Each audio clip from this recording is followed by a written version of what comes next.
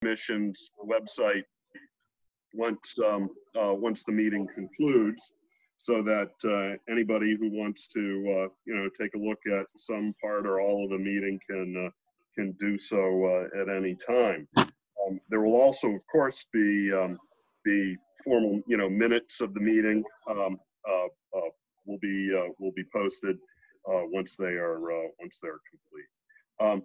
Before we begin the meeting, or I should say, before we go into um, any sort of discussions, we're going to take a roll call of all the commission members. And, um, and so when I, when I do read out your name, please indicate your presence and, uh, and also indicate if there's anybody else present in the room uh, with you during the, uh, during the meeting. Um, Let's see. So, and then one final, um, one final note, and, and I, I sort of feel, feel bad about this because I've always, uh, liked public comment and I've always found it really valuable when I was on a school board, and I think it's been valuable, uh, in these meetings too. But as we're sort of getting into, um, uh, remote meetings, um, uh, we're gonna, we're gonna start this one without, uh, without uh, public comment during the meeting. Uh, If you do want to, if, if any of the members of the public want to, um, uh, you know, want to provide us with uh, public comment, please do so by emailing the um, uh, School Funding Commission at schoolfunding.commission@unh.edu. And uh, that email address is checked, and we can certainly collect those and get that information out to members of the commission. Hopefully, as, um, as these things start to run a little more smoothly, we'll be able to, uh, to, uh, take live, uh, public, uh, public comment. Um, but, um, uh, one step at a time here.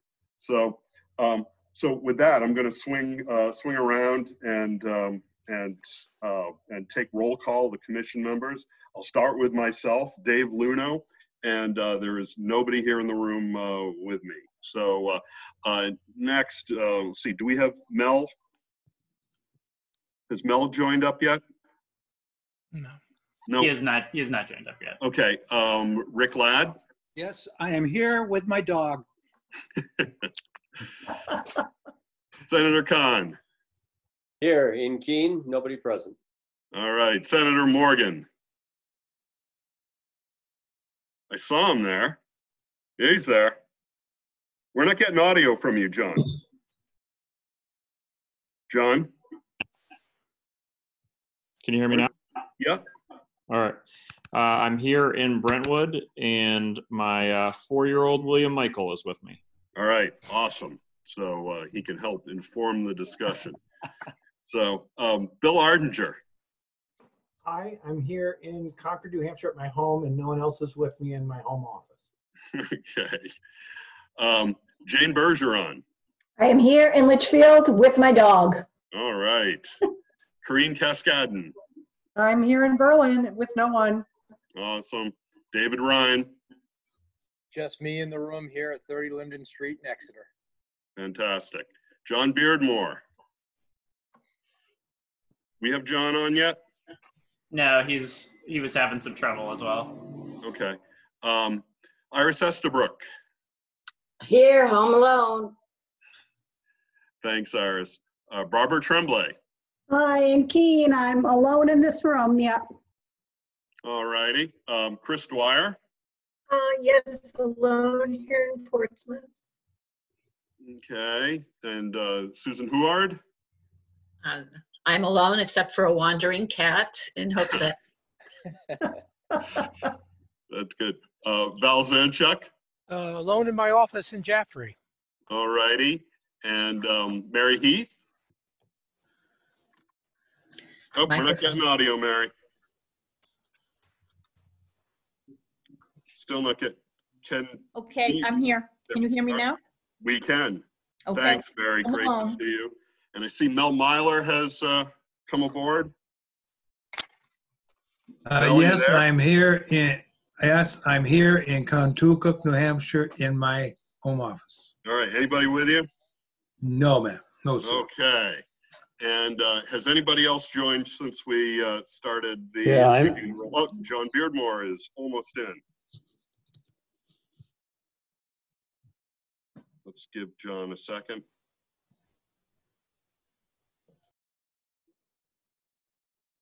Is, is, um, what's John, is he clear in the weight room or? We need to Uh, unmute- yeah, he should be. we need to unmute John.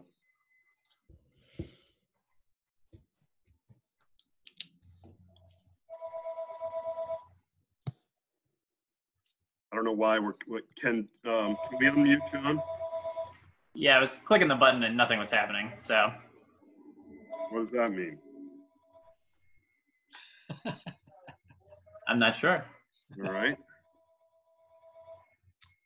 Okay, well, um, John is, is, uh, I don't know if John can hear us either, so.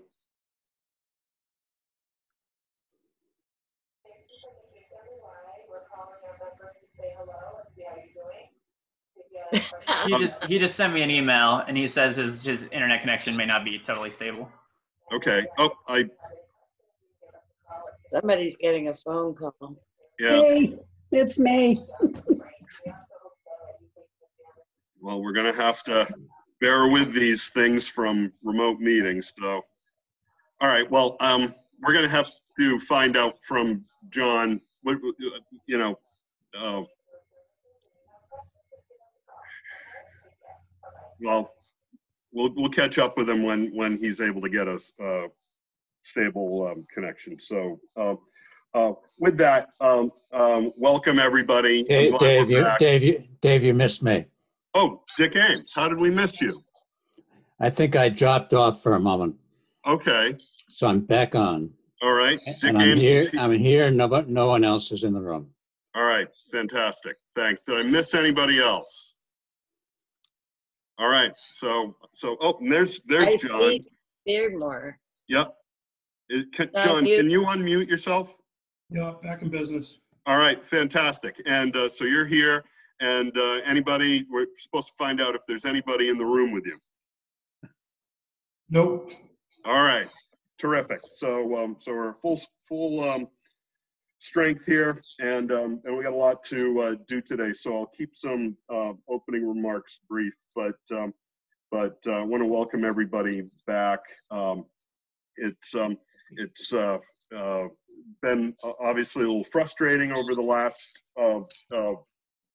almost two months since since we last met, and um, and we certainly wanted to meet many times prior to um, to May fourth, but uh, uh, but uh, you know, it turns out um, you know some of this technology isn't the easiest thing to um, to have work properly and, and, and get right, but I think we're getting better at it, and uh, I'm glad we're able to move forward um, uh, today.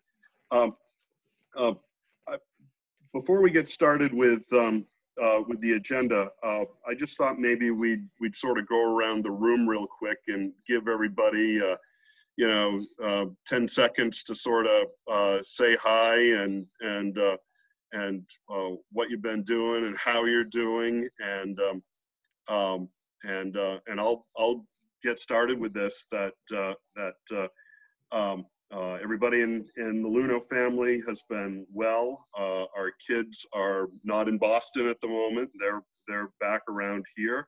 Uh, we had some uh, uh, fun news in our family. My son got, uh, got engaged to his longtime girlfriend um, a few weeks ago. So, um, so we're really excited about that. And it's nice to have um, piece of good news come into our lives during this time. Um, and, um, and as we uh, get into the agenda, we'll be talking about the things that have been moving forward with the School Funding Commission. So it hasn't been idle on this end. So, um, so uh, uh, um, I don't know who wants to take it next. Mel? Got to unmute, Mel. Mel, we can't hear you. I'm There we doing just fine. I'm just doing just fine. Um, and, um, working hard and, uh, trying to stay ahead of everything. So uh, it's been it's been very busy.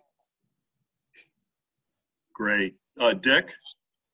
Sure. Um, not idle at this end, doing well with the family. And um, uh, the not idle part relates both to this, uh, this commission and the screening committee in particular. Several have been working hard on that, some harder than me. And then uh, the uh, Ways and Means Committee has also been active on uh, the uh, impossible to predict revenue issue. Right, right. Great, thanks, Dick. Uh, Rick? Oh, hi. Yep. Uh, all's well here in Haverhill. Um, enjoying the gardening now. Uh, all the kids are on online instruction, successfully doing so, and I've enjoyed working with you on the other subcommittees. Yep, great, great. Thanks, Rick. Jay? Gotta unmute, Jay. Keene's doing well, uh, David. Uh, Started the day at eight o'clock uh, with a town hall meeting that uh, we're doing every Monday. Uh, Yeah, constituent issues are, are a big chunk of uh, effort, but, uh, uh, and then looking forward to uh, another fiscal committee meeting on Friday. Pretty loaded agenda there. And uh, yeah, it's been good uh, working with you over the last couple of weeks. I think uh, our conversations and progress, uh, while it's hard to see uh, that yet, uh, I think we can get out of the starting gate pretty quick, and I'm looking forward to it. Great, thanks, thanks, Jay. John? Morgan? Uh, doing well. We're uh, keeping very, very busy with the three little guys and uh, making sure that they stay on top of uh, their homeschooling, and we're trying to be right there with them. And and uh, really thrilled to be in SAU 16 under the uh, incredible leadership of Dr. Ryan. Terrific. Is it homeschooling or schooling from home? Yeah, schooling from home. I'll let the technicalities go to go to uh, the other folks, but we're uh, we are doing school at home. Thanks, John. Um, uh, let's see, Bill. Yes, thank you. We, we are, knock on wood, all doing healthy and safe here at- in Concord. And uh, I've been working on the stakeholder advisory board process for um, dealing with the, the COVID crisis, which has taken a lot of time, but I'm glad this commission is started up again. And thanks for all the work that you have done with the team, with Mel and with Jay and others to get this up and running. Thanks, Bill. Thanks. It's a team effort, that's for sure. Uh, Jane? All's well in Litchfield. We're all healthy. Um, and in regards to special education, it's been um, a very, very challenging time for um, special educators and special ed administrators during their remote learning. So we've been very busy. Great, great. Thanks, Jane. Uh, Corinne? You there, Corinne? Yep, okay, Okay. unmute, had to unmute. Yep. Um, things are good in Berlin, no reported cases of COVID-19, so nobody come visit, that's the first direction. Um, I've been busy because I'm finishing out a contract in Littleton in June. Um, and we're trying to, you know, operate the way you would when schools are open, because you still have all the same activities and things you need to deal with, so graduation is definitely a big one. Um, and I've been doing remote instruction, uh, well, this morning with a six-year-old grandson and tomorrow with both of my granddaughters, because I have a son and two daughter-in-laws that work in healthcare, uh, in hospitals, and a son that works in federal, um, the federal institution. So they're all, they all need childcare. So in Mhm. between working, um, I've been trying to do that as well. Um, but I'm glad to come, I'm glad this is up and running. I, thi- I like the format so far and I like the, the graphs. I, you know, I'm a visual person, so I like to see things um, so that I can have a roadmap of what, what our job is. So Mhm. hopefully I can contribute. Great. Thanks, Corinne. Um, David Ryan from the beach. Trying to keep uh, John's kids active in their learning at home. Um, we pivoted to 5,000 students learning from home with uh, Wow. 2,000 employees still on the payroll, making sure that that all happens. Uh, just like Corinne, it, everything, it doesn't stop. It actually got a lot harder and It our time became even, um, we have less time to do things because there's so much more to do when you move your entire SAU to a remote platform. Uh, I don't recommend it for anybody in the future. Mm. Um, so now we're looking at what are we doing this summer for intervention, as well as a return to school in the fall. Uh, so we have a lot of work we're doing. Personally, we're great. My wife's home, my uh, college kids home, my two high schoolers are all working on uh, learning from home. And uh, the worst thing I did two weeks ago was buy a basketball hoop because all they want to do is play two on two every day, and my body just can't take it anymore. That's great. Thanks, thanks, Dave. Um, John Beardmore. Hey, everybody. Um, Good to see you all. I've been uh, working from home in Hopkinton since March 10th. Um, As many of you know, I work in municipal finance, so it's been a super interesting and volatile couple months. So I've probably never worked harder and longer hours um, while my two uh, children first grade and uh, fifth grade try to do the, the distance learning thing, which so far has gone uh, really well in Hopkinton, thanks to some really good teachers. So good to see you all. Great to hear, John. Thanks. Um, Iris. Uh, things are good here, given the situation. Everyone is well, thank goodness, and employed, the younger generation. Uh, we miss those we can't see because we can't fly, but we've been zooming a lot. And as most people, reconnecting with folks we haven't talked to in a while, which is one nice thing. Looking forward to getting back to work on this. Great, awesome. Thanks, Iris. Barbara.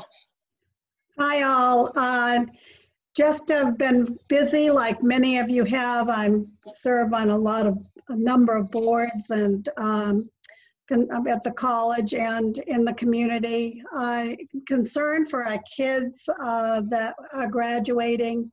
Uh, Right now, I'm on two committees looking at scholarships for those students and how we're going to give those. Um, So staying very busy, doing lots of Zoom meetings. Um, we have two sons and two daughter-in-laws who are doctors. So we check in with them frequently, very concerned for all four of them, but they're doing well. And um, uh, we're proud of them for providing the service they're doing. Um, I, I'm excited to get us all going again on school funding. Obviously, this has called to the forefront uh, issues for many of our districts. So very interested in um, glad to see you all and work with you all again. Great, thanks, Barbara. Um, Chris.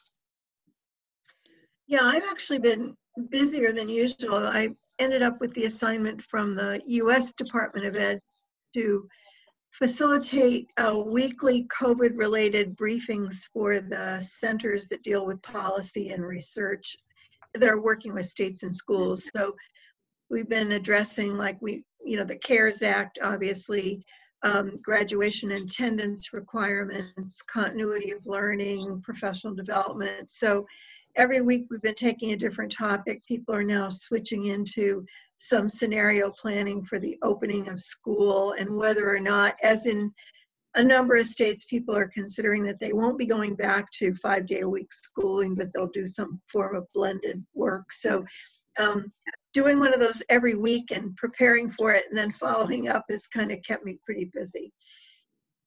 Great, thanks, thanks, Chris. Um, Susan. Well, I flunked retirement. Congratulations. Thank you. So as of Monday, I started my new full-time job uh, as the interim chancellor for the community college system. Uh, For the next two weeks, uh, Ross Gittell and I are a tag team, and after that, he's going to abandon me to become the president of Bryant University. Uh, needless to say, it's been a very exciting week uh, trying to figure out how and when we can open the colleges up. We have the immediate problem of a lot of our students who are in technical programs needing to complete their lab work so that they can be certified and go out and be electricians and automotive technicians and all sorts of wonderful things. So That's great. That's great, Susan. Thanks, uh, thanks for doing that and thanks for, uh, for flunking retirement. So, um, Val, So everyone at home is is good. Uh, we've been working here at GraphiCast since day one, uh, never shut down, and uh, we're finding um, our backlog is the highest it's ever been. Uh, 70% of our customers are in the medical equipment business, so they are trying to get us to expedite more and more, and our non-medical uh, customers are pushing things out. So we're seeing the the push and pull of the marketplace. But we have uh, some of our customers are directly involved with COVID diagnostic equipment, so they're begging for parts as quickly as we can get them to them. So we're uh, interestingly and you know involved uh, behind the scenes and trying to keep everybody healthy. that's great. Thanks for your service on that, Val. So, um, Mary, there. Um, pretty busy here in Manchester. Um, I'm really happy to announce the Finance Committee had its first executive session last week, so that was pretty cool. Um, the homeless situation in Manchester is tough. Um, the COVID um, 19 virus has hit our city pretty hard, and um, the homeless population is, um, it just seems like it's growing by leaps and bounds. So that, that's a challenge for our city. Um, I've been attending a lot of the NCSL sessions on Zoom um, about the CARES Act funding, so that's been pretty interesting. And then, of course, we're working on our um, school charter commission um, input and our school budget, as well as beginning the county budget process. So busy, busy, busy. it is. Mary, um, thanks very much. Um, did I, oh, y- y- and let me, uh, let me swing it around to Jordan and Terry. How are you guys doing? Doing doing pretty well. Uh, like a lot of folks, you know, staying busy as ever. Uh, had to postpone my wedding from uh, from this year to next year, so that is definitely uh, a bummer. But uh, just more time to to make it even better. So Great, great. And, and Carrie, how are you doing? I am in the last month of my PhD. Yay. Wonderful. Good and stressful time. I, you'll be seeing a little less of me for a month. Um, Bruce, Bruce is, uh, will be doing quite a bit of reading of my writing here in a little bit. Oh, well, well, best of luck with, with all of that. I'm sure that's very stressful. Jennifer, how are you doing? Doing good here in Concord. I've been seeing a lot of uh, Representative Heath on the NCSL uh, forums that are taking place, so that's always fun. Um, the four dogs are very much enjoying our current normal. Um, so there's some silver lining. Yeah. Um, really glad to see our legislative committees getting back underway um, with with finance and then um, municipal municipal and county this week, and I'm sure there's going to be more to come. So we're pretty excited. Great, great. And Bruce, how are you doing? Doing well, Dave. Thanks. Like others, I'm finding that I'm working sort of twice as hard for half the level of productivity. Um, certain kind of degree of frustration with this. But we've been sheltered in at my house now for eight plus weeks, I guess. I've got some family members here from Boston who are with us for the duration. Um, and uh, this work has obviously kept me quite occupied, as well as some other Carsey projects that I'm that I'm engaged with right now. Just one comment that I'll make. I'll note um, because of its personal meaning to me and perhaps others on this call. Uh, today marks 50 years ago that uh, the Kent State um, incident, the massacre, as, as it was called, occurred. And I was a young college student uh, going to college about 90 miles away from Kent State.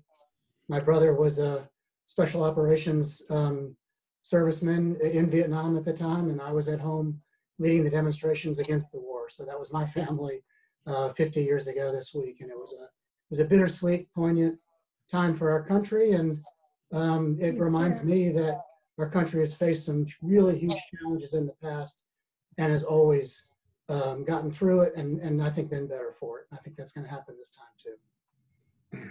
Great. Thanks. Thanks for sharing that, Bruce. So, um, let's see. I'm just checking uh, chat right now, and I see that uh, that Jay sort of has his hand up. Did you want to? Um, Thanks, David. I, I, I wanted to make sure that I got this right. Uh, Superintendent Ryan uh, and Cascadden, we have uh, Teacher Appreciation Day. Uh, Week is uh, starting today, right? That's correct. Well, I sure want to, you know, do the echo on your shout out uh, to uh, all the educators that have made the transitions and kept kids and parents as busy as they have. Uh, it's uh, it, it is a very busy time for them and their families, and uh, thank gosh uh, that that folks are uh, were so capable and committed to uh, to making the transition as quickly as they did. Thank you both, right. and all your teachers, Yeah. and Jane, all of yours too.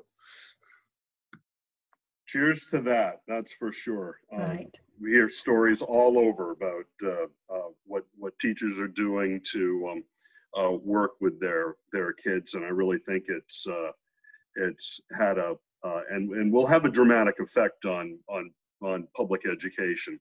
But uh, but I think uh, certainly here in New Hampshire, it's um, it's it's seen a lot of people really really step up to the challenge and. Uh, and uh, just do an extraordinary job. So, so thanks to all of our teachers and administrators uh, for their hard work and effort.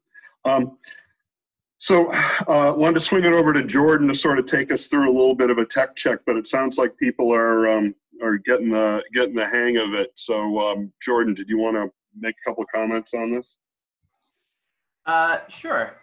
Yeah. So um, just so everybody knows, uh, we have, uh, you know, uh, we're not really using much in terms of the, the chat panel. Um, we're just kind of speaking. Uh, this is being recorded. Uh, please mute yourselves uh, when you're not speaking to reduce any kind of feedback issues. Uh, feel free to raise your hand uh, if you'd like to kind of get yourself uh, in the in the queue to say something if you're waiting for other folks to finish. Um, you can do that by, uh, I believe, clicking on your your name and then clicking the, the raised hand function. Uh, otherwise, uh, yeah, we'll just try to do our best to to work with the new new technology, and uh, we're all we're all learning the wonders of Zoom here. Great, thanks, Jordan. Does anybody have any questions for Jordan?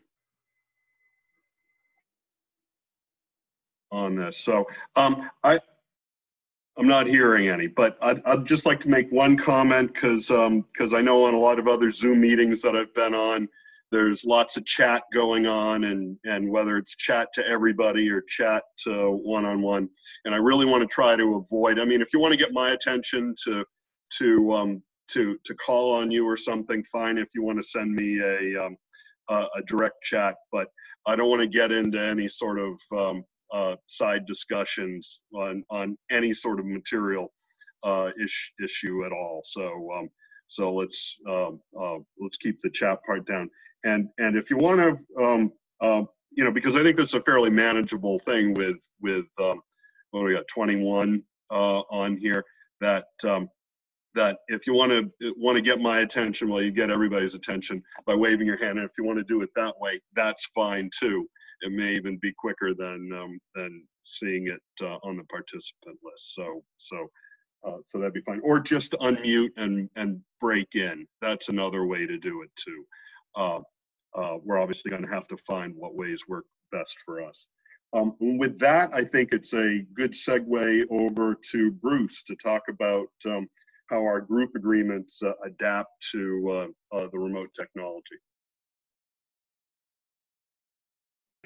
Thanks, Dave. Uh, so I'm going to remind everybody of the group agreements that the commission uh, developed and agreed to uh, at the beginning of our process. Those still stand. Those are important. Maybe the, the first couple, especially being open-minded to each other's ideas, listening first, um, uh, and taking into consideration what other people have to say. It's okay to disagree, but don't personalize it. We focus on the ideas, not the person. Um, let's assume that there'll be conflict and disagreement within this, within our deliberations, and we'll accept working through conflict um, as a catalyst for learning. It's okay to put sensitive issues like uh, race or ethnicity and class on the table. Uh, In a group that's talking about issues of equity and disparity, those are going to come up. Um, be purposeful and to the point, try to be concise, um, make sure that what you're uh, contributing is, is uh, relevant and to the point at hand. Um, take risks, be raggedy, make mistakes. That's all fine. That's what we uh, learn from each other and then let go. And we all share uh, responsibility for, uh, for productive uh, process here within the commission. In addition, um, I wanted to share several that we in, at the Carsey School and New Hampshire Listens now use with our online work. Um, we're trying to help people to understand ways to have constructive and respectful civil conversations um, online as well. Again, listening to each other, being patient around technology. Um, all of us, I think, are learning something about patience um, in this experience, in this process. Uh, use hand signals if you can't use the right, if you can't find the right uh, uh, way to do it on the screen, but you know, putting your hand up to your ear if somebody's on mute to remind them to unmute. Um, thumbs up sign if you're agreeing with a point. Um, uh, sometimes a jazz wave or just a thumbs up sign um, if you really uh, want to express your support and for somebody. Try to be on camera. I think with the commission here, we expect our commission members uh, to be on camera. I know sometimes we, we, we acknowledge that sometimes folks have a hard time being on camera for a lot of legitimate reasons. But for our purposes here and with the, this being recorded, I think we want to make sure there's a public record of who's been present and who's contributed. Do mute yourselves when you aren't talking. It is possible sometimes to get feedback that is, is distracting or other background noises um, that make it more difficult for us to have the conversation. And we mentioned that we just talked about chat, you know, a minute ago. So those are our group agreements. And with your uh, uh, mutual consent, we'll add these online agreements for the time that we continue to do the work this way. Thank you, Bruce. I think that's uh, that's real good. Um, and did um, did everybody was able to sort of see um, uh, Bruce's uh, screen there? So I'm taking that as as yes. Um, Jordan, I don't know if you want to talk about if you if if if anybody needs to break out of of the seeing the full screen. I know this question came up at an earlier Zoom meeting I was I was in because um, it's not really clear how to how to do that. For instance, if you had to respond to a, an email on from uh, on completely different subject, you just needed um, your um, your laptop screen back. Yeah, definitely. So in the in the top right hand corner of your screen, you'll see a few different view options. Uh, you can either have it highlight only the, uh, the person who's speaking, or you can do a grid view in most instances uh, when the screen's not being shared. You can also, you'll see right next to the speaker view, grid view option, uh, that there's an enter full screen. Uh, you can also exit full screen if, uh, if the screen's being shared to then, you know, answer an email or, or do what you need to do there. So thank, thanks, Jordan. And, and the, the same as with our regular meetings if um, if you've got to take a phone call or if you've got to use the restroom or you've got to let the dog out or something like that, um, you know, just mute yourself and and go take care of it. Um, you know, this happens while life goes on. So um, so we we appreciate everybody's uh, ability to to spend time uh, on the, the, the work of the commission. So uh, so the commission certainly respects um, your needs as well. So um, um, uh, I guess just like any good uh, television series, um, when there's a long period of time between episodes, the next episode begins with a quick review of where we're at. So, um, so Bruce, can I turn it over to you to sort of talk us through a little bit about where we've been and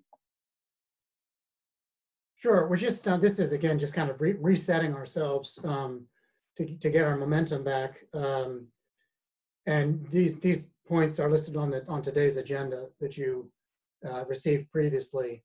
But just as a reminder that um, the last couple of months um, have not been lost by any means, especially during the time that the commission hasn't been able to meet. There's been a lot of other activity taking place. So we began by um, affirming or understanding and affirming the charge that we were given from the general court uh, in the legislation that created um, the commission. Um, we've, I think, been careful about being sure that we address that charge and at the same time, um, don't take liberty, you know, with the charge. We're trying to figure out where those boundaries are that we're expected to uh, operate within um, as we uh, help the legislature address this challenge about um, uh, relative to school funding and the ways in which we, we fund our schools.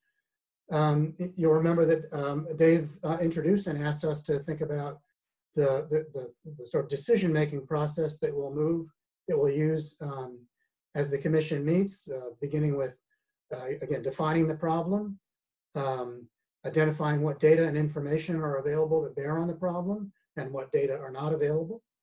Um, looking at prior efforts uh, to uh, address this issue um, uh, over the last uh, couple of decades or more. Some of the members of the commission, of course, were quite involved in those earlier efforts. And so we have a great uh, link back to the wisdom um, of prior deliberations and, and solutions. And then um, uh, others have joined the commission who are helping us you know, move forward and look, look to the future as well. We've had a number of presentations at our face-to-face commission meetings um, from uh, NCSL, uh, ECS, the Department of Education, Department of Revenue Administration, Department of Justice, the School Fair, Fair Funding Project. Um, and we all, all, of that, of course, is in, in the records of, of our minutes, uh, both the presentations and the materials that were provided as well. We've not had any presentations um, uh, since we stopped meeting face to face, and and we'll want at some point uh, uh, get back onto track with getting sort of the key expertise and data that we need as a whole commission. Um, and then the individual work groups that have been established, fiscal policy, adequacy and distribution framework, and engagement, all may take advantage of presentation from experts as well as those work groups engage in their meetings. We held a, a, a key uh, stakeholder briefing for uh, the leadership um, organizations in the state relative to public education, including the school administrators, the New Hampshire NEA, the Charitable Foundation, the um, um, uh, Council of Business and Education, the School Boards Association, Reaching Higher, the Association of Special Education Administrators, uh, uh, the Governor's Council on Diversity, and the CTE Advisory Board were all, were all represented at that key stakeholder briefing. Um, we shared with them what the Commission's charge and, and process is and began to hear some initial feedback from them about their sort of hopes and concerns for the Commission as it does its work. We've been developing a kind of a task list, a very complex um, uh, eight or nine month task list for the Commission to be sure that we achieve our benchmarks and accomplish our goals. Um, it seems that every day there's another task or, or set of tasks to add to that list, but that's all part of this uh, initial work of uh, being sure that we begin on the right foot um, so we don't miss anything and have to double back later um, or, or repeat ourselves unnecessarily. And finally, um, we released um, a request for proposals um, at about the time we stopped meeting um, seeking bidders um, from uh, national organizations that have experience, expertise in um, public education, fiscal policy, um, and uh, matters of adequacy, uh, with an emphasis on the former. We received um, uh, uh, we received responses from that RFP. Uh, a small screening committee, a subcommittee of this commission, was formed to um, conduct a, a, bidder's call uh, with potential uh, applicants. Um, and then once uh, the applications were received, uh, that screening committee has been hard at work reviewing those proposals, developing a set of um, scoring criteria uh, uh, against which to judge those proposals. Um, this week, um, the, your chair, Dave, and I will be consulting with the references that were identified by our, uh, by our bidders, by the folks that responded. And the screening committee hopes to essentially complete most of its work um, by the end of the current week. And when this commission meets again a week from today, um, we hope to provide, to have a recommendation for you to act on, and we'll provide you the appropriate materials in between uh, to justify whatever recommendations we might come forward with. So that's um, that's where we are. Um, the final report from the external consultant uh, has, was moved back a little bit to August 31st. However, we've anticipated in, in our conversations with the folks that have been applying to us that there will be some ongoing relationships and continued um, sort of discrete analyses necessary between August 1st, August 31st, and the time the commission submits its final report to the legislature um, on December 1st. So I'll, I'll stop there and see if anybody has any questions. Iris has both a Iris. physically raised hand and a digitally raised hand. Thank you. Um, I was wondering whether either before next Monday's meeting or at Monday's meeting, when you make the recommendation as to which uh, outfit to go with, whether you were also going to provide information on the other folks that bid, so we could get some sense of the choices that were made. You know, that, that's a, that's a good question, Iris. And, um, and I, I'm, I'm a little hesitant to, um, actually, I'm a lot hesitant to do that only because the, the RFP re- bidding and review process is, is really somewhat, um, confidential out of fairness to the, the, um, organizations that, that put in proposals. And, um, and, and, uh,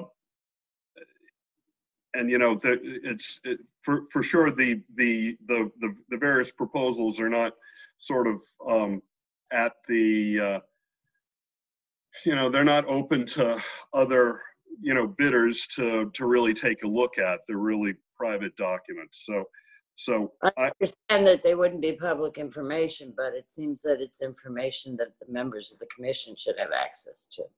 Okay, no, I, I'm, I, I, I'm, I'm, uh, you know, I, I hear what you're saying on that, Iris. Let me, let me do this. Um, uh, when, um, when our, uh, our, um, our proposal review team is going to be, um, uh, meeting again, uh, shortly. And let me tell you, I, uh, Bruce, I don't know if you laid out who's on the proposal review team. I did not mention that, no. go ahead. So it's, um, it's, uh, Bruce, Jay, Mel, Rick Ladd, um, uh, Chris Dwyer, Dick Ames, and myself. And, um, And I'm ex officio, I won't be voting, just to clarify that. right, right. And, um, and so, so, uh, uh, basically since the, since the proposal was, since the RFP was released on March 19th, um, uh, this group has, has attended, um, uh, uh, a bidder's call on, uh, on April 3rd. Proposals were due April 24th. The evaluation team uh, had its, for the review team, um, had its uh, preliminary review meeting on April 29th.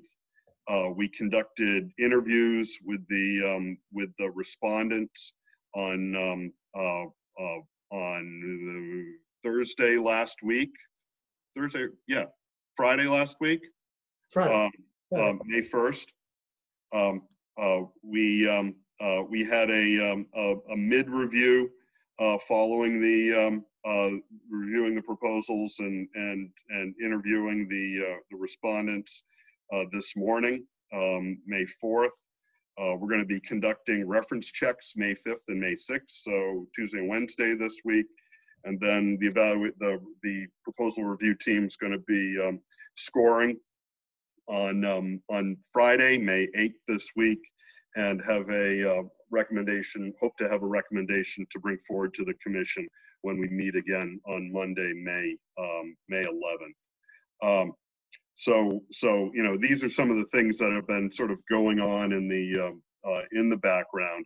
I think we're very fortunate to uh, to have that RFP um, uh, issue uh, uh, go out because if that hadn't hadn't have gone out, a lot of we would have lost a lot of time in um, uh, in what we were um, in what we need to what we need to accomplish. But I will raise that question uh, with um, uh, with the review team and um, and uh, see what we can bring forward on the 11th. But let me put a question out to the commission members. Um, what what what do you feel that that you would need to hear uh, about on the um, uh, next week in order to um, uh, be in a position to uh, uh, move forward with with a- proposal. Anybody want to jump in on that? I mean, I hear what Iris is saying, wanting to sort of um, uh, some high level on on what the other proposals look like. Is that right? Yes, thanks. And, and some understanding of what led the committee to the conclusion it came Oh, to. By virtue of what, what the winning proposal had over the ones that didn't win. The rationale. Yeah. Sure. I mean, in terms of the work that's gonna be done, the most, I, I, I did get a chance to read through the checklist you're using for scoring. Mm-hmm. Um, and I found a lot of it was, was sort of, um, you know, organizational competency and, um, things like that that are important. But, um, in terms of our, our specific mission, um, I guess in four and five were, were the core for me, which was, you know, what, what approach are they gonna take? Right. And is it an approach that's in keeping with where we think we want to be going? And can they adapt to changing, you know, are they stuck on one way of looking at this? Mhm. Or can we see where we're going to go? Great. No, that's that's excellent guidance. I think we would we'll we'll, definitely be um, be be doing that, and that's th- those are things that have been you know top in mind on the uh, on the review team uh, during um, you know during our discussions and during the uh, interviews with the uh, with the respondents. Uh, anybody else have anything else on um, on uh, uh, on what what you may want to uh, see in a um, uh, in a recommendation next week? Good. Well, if anything comes up, please you know reach out to um, to me or Bruce on. Dave, Um, Dave, Bill had his hand yeah. Bill had his hand up. Oh, I'm sorry. Didn't didn't see you, Bill. Barbara as well. Yep. I just wanted to know, are we looking at uh, more than one? Like at one point I'd heard discussions about, you know, reaching higher would supply some data support and then another organization uh, would, you know, a national firm. I- Are we looking at more than one or just a single with this? No, we're looking at more than one. Okay, any, any sense of the number? And, and, and I guess, so just to add to Iris's point, it'd be good to know what the categories are that we're looking for and who we're looking at. Okay. Exactly. That's exactly what I was going to say, Bill. Same thing. Thank you. Okay. No, thanks, Bill. Thanks, Barbara. Uh, any anybody else? Chris. Got to unmute. Uh, just to be clear, so the answer to that last question, while we had more than one bidder, we're not looking to award more than one contract. I just wanted to make sure that wasn't misunderstood. Right. Oh, that, that actually did clarify quite a bit. Thank you, Chris. Um, so, so there's, uh, there's not, we're not contemplating having more than one consultant to the commission. That that's uh, that's correct. Thank you. Any further questions here, Jay? Uh, J- uh, You know, David, having been a part of that process, and yeah, you- there's six people on that, and that group that's been working with you and Bruce. And uh, uh, yeah, I think we can easily summarize the strengths and weaknesses of uh, the proposals we evaluated. And uh, I think that they can address the uh, questions that I've just heard. Good, good. Thanks, Jay. Um, Mary, did you have your hand up? Yes, just a quick question. Um, in terms of the cost of the award, did you get any concerns from bidders about um, the amount of money that was involved to accomplish such a big task? Um, I haven't heard of any concerns um, on that. I and uh, and uh, you know we'll get into it more next week. But we did probe around to to make sure that uh, that, look, uh, you know, are, are major elements being left out? Are we not going to be able to accomplish that? These were questions that we had um, for the respondents. Dick, did I, did you have your hand up? Yes, yes, thank you. Am I unmuted? Yeah. Okay. Um, yeah, I just wanted to, in response to Bill Ardinger's good question, um, make clear that at this point, we're not, this is, this is an award to one, is one contract. Uh, there may be in the future the need for another consultant, and I think we've reserved for that possibility. So just to be clear on that. Um, and then um, I think uh, the suggestions for the presentation, for the discussion uh, with the commission as a whole are very good. And uh, it seems to me that we're well set for that. Thanks, Dick. Yep. David, David, I would, I would also add that the, uh, the quality of the proposals we have received are very rich. Uh, They, they obviously come at the mission uh, in- in different ways, but uh, as we've reviewed the proposals, we've all been impressed with the thoroughness and uh, really the, uh, the quality. It, it will, it will be a difficult decision uh, to come forward with you because of, uh, of the detail and uh, how they have addressed the issues that were in the RFP. We've been very pleased with the quality. Good. Thank you. Thank you, Mel. Iris? Yeah, Yeah. Did you have your hand up? nope, Oh, your hand's up. How do we put Iris's hand down? Nope, it's gone now. I never Um, put it on, thank you. I think it was left up from, from earlier. Um, let's see. Anybody else have anything, uh, they want to add? Rick, you want to add anything on the Dave, Mary- proposal review work? Dave, Mary had her hand up earlier. Oh, I didn't, s- yep, Mary, or Mary? She's good. Rick? No, I, I think it's been well covered here, but uh, echoing what Mel had, that the, there are very thorough proposals, well, well done and meaningful. Uh, We need to just go to the next step and check with references to ensure the references are, are paralleling what is in their proposal and, and, uh, and how the, the proposals present various types of information. But all in all, I think we have a wonderful process going on and I think you're going to see a fine recommendation. Great, great.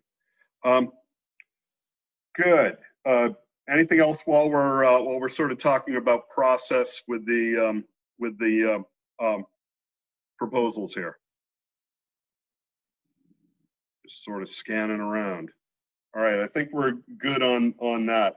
Um, so we're coming on three o'clock right now. Do, um, do people want to take a, a few minutes for a, for a break before we get into, um, um, really, I think what the, what the meat of our conversation is going to be today, which is reviewing the uh, work group charges, reviewing them as a whole, and, um, and uh, the plans for uh, work groups to get started on, on um, Thursday this week.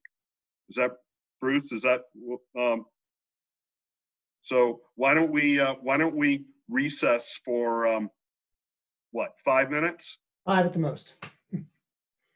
Quick Why don't we recess till three o'clock then? And uh, we'll reconvene uh, shortly.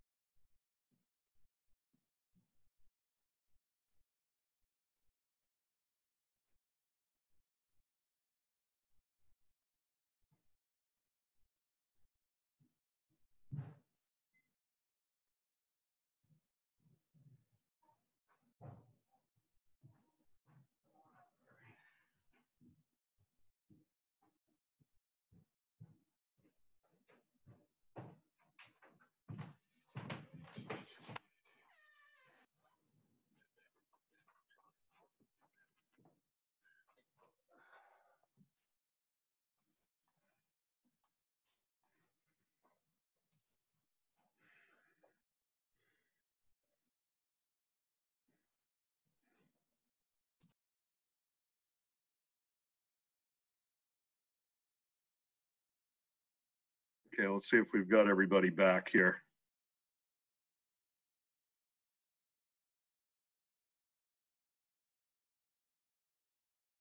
People are coming back online. Dave, Dave Ryan shifted to a freshwater location to catch some fish. I like that. I like to spread my seasons out since I live indoors right now. Yeah. Oh, and Carrie's taken up a different uh, location.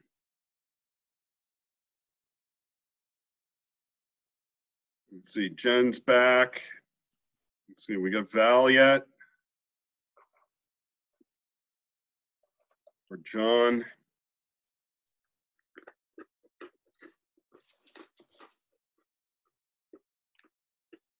Okay, well, why don't we, uh, why don't we get started? Yep, John's back. I'm sure Val's just around the corner.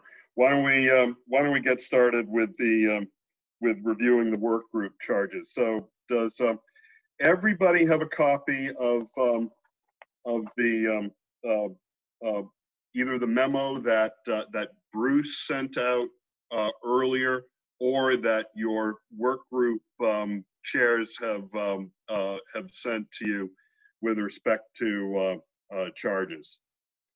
Because the most important thing is we want everybody to sort of uh, be able to, uh, to weigh in on what the various groups are doing and, um, uh, and, and their approach to, uh, uh, uh, to their tasks. And um, to the extent we, we know that yet. And, um, and, and that way, as we all, you know, meet with our groups on Friday, we've got eyes wide open what, um, what the other groups that we're undoubtedly going to have to interface with uh, uh, are also um, uh, looking at. So, um, Dave, excuse me, just a reminder that at uh, 1:20 this afternoon, Jordan sent everybody uh, the, the PDF with all of the work group charges on it. If anybody Okay. Put access to that. okay. And also, I, um, I, I know that, um, that, um, um, I think David Ryan's probably gonna have to, uh, drop off in, in, uh, in about, uh, what, half hour or something like that to a, to another meeting, so, so, um.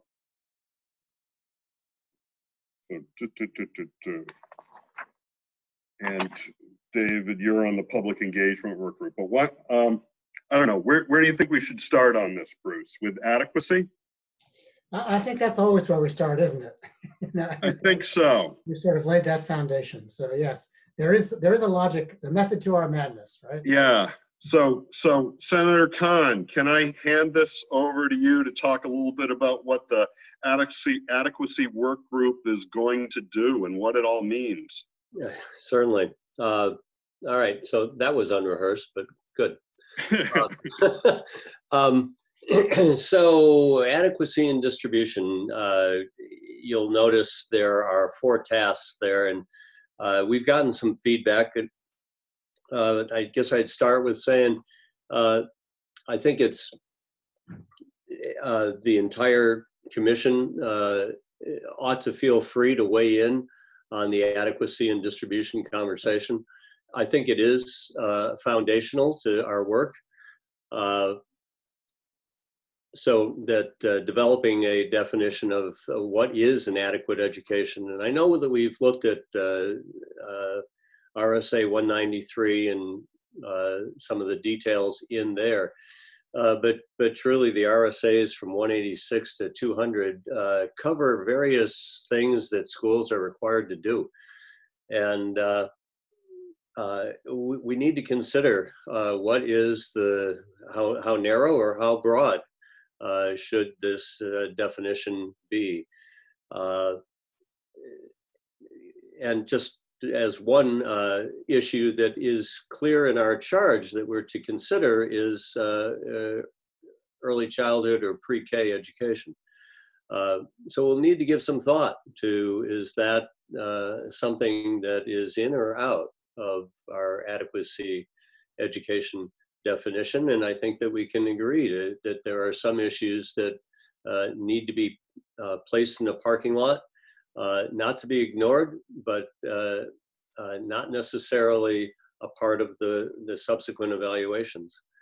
Um, from that definition, uh, which I think we'll start on on Thursday, of considering various tangents to an adequate education, uh, we need to start talking about the disparities in opportunities and outcomes, and essentially uh, the inputs, uh, inputs into education, like uh, number of teachers, class size, uh, qualifications of teachers, uh, and the outcomes. How successful are the students from the educations that they're receiving at 176 different districts around the state? Um, and then there are not just uh, the inputs into the school, but then there are the broader socioeconomic uh, factors uh, that we uh, might wish to consider as uh, parts of a disparity uh, that, that need to be considered as far as creating more common or equalized set of experiences for students. Uh, and, and some of those socioeconomic uh, factors might uh, be geography, uh, density uh, of population around a, a community. Uh, okay, so things that we have not traditionally put into our funding formula. Um, in a third sense, then, uh, we need to get to uh, what is the cost of an adequate education. Uh, words aren't exactly there in suggesting a framework for the distribution of effort and the funding that remedies disparities.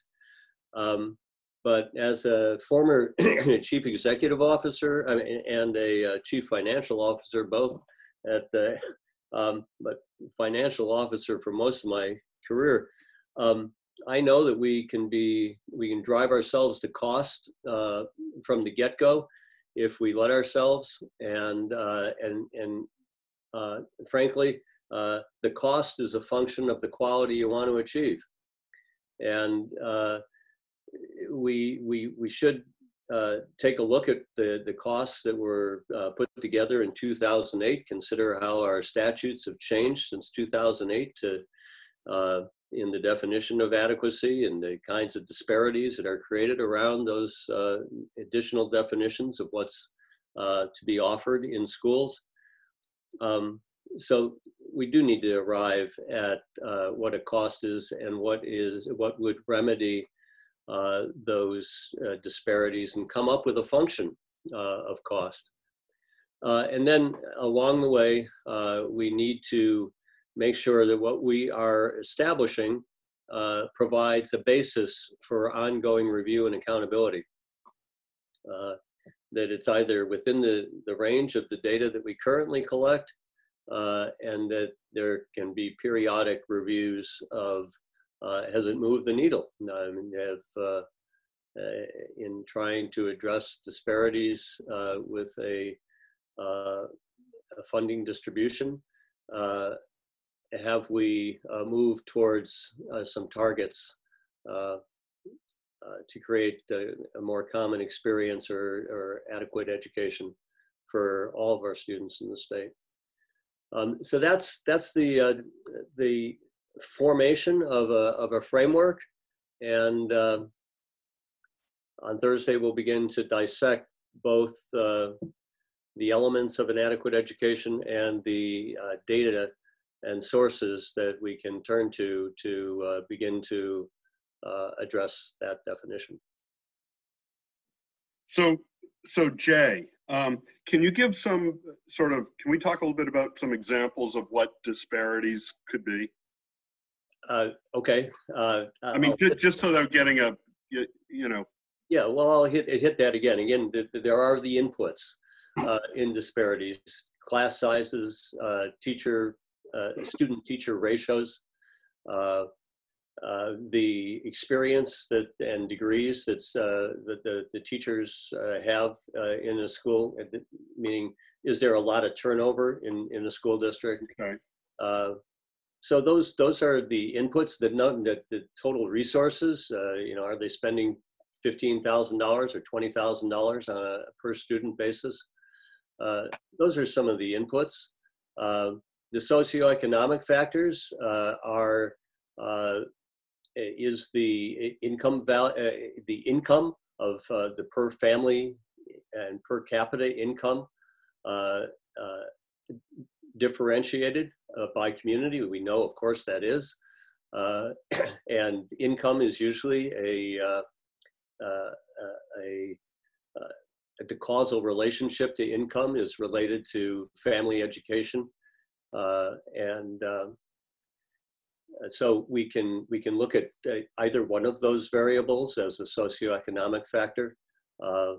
Uh, uh, another socioeconomic factor is that uh, how remote uh, that district is and those students from uh, other students and from other educational opportunities that they may have in their community or how concentrated uh, dense is a community.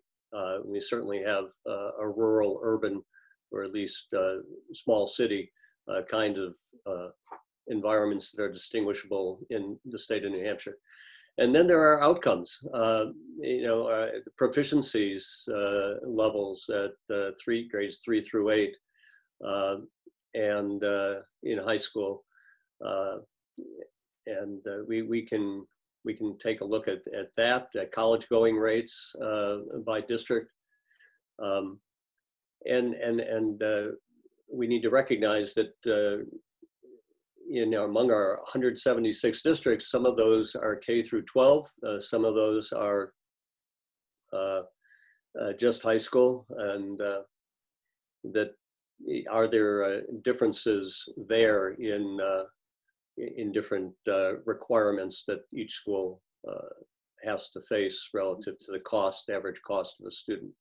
So anyway, those are some of those disparities that we'll need to identify what, uh, uh, and, and some of that can come from uh, literature search, uh, meaning that uh, uh, there are other states that have the dichotomies that, that we have in New Hampshire. We can be informed by the factors that they've identified as most significant and then test those uh, on our own uh, available data and uh, observations uh, that uh, administrators and key leaders in our state have about our education system. Questions for Jay or thoughts? Iris had her hand up first, I think. Oh, Iris? Thanks. Um, there you. Thank you. Uh, I appreciate Jay saying that the um, words weren't quite there for the task of costing because I don't see it in the words. But um, I'm taking this document as a kind of work in progress for the committee's charge, not as a charge that's so fixed we can't see where we go yep. and understand amongst each other that costing is certainly part of our task. Um, I'm also wondering when we get to the third step that suggested that we um, create this framework for distribution of effort to remedy the disparities we identify. I'm wondering, is the distribution framework supposed to only uh, rectify those disparities, or is it supposed to fund an adequate education, or is it supposed to do both?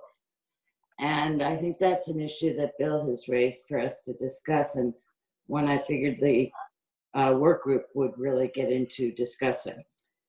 Uh, so that's my reaction, and thank you. Good. I I think those are fair comments. You know, I think at this point, nothing. Uh, let's try to be as inclusive of ideas as we can uh, as we start to build uh, clearly this is a funnel kind of experience, right? We've got to start with the broad school of thought and uh, and then try to to narrow ourselves to uh, what we most need to accomplish. Right, right, and and and the, the, there's obviously going to have to be, you know, regular conversations um, you know, within the full commission on what the adequacy group, but with what, what all the work groups are, are doing. And, um, and, and, you know, I, I, I think when it comes to adequacy as well, it, it, um, it obviously encompasses uh, a lot, and Jay just got got into that. But what I did not hear him talking about is redefining some of the things that that uh, that that are sort of state minimum minimum standards for for um, uh, uh, for public education, such as two years of high school math.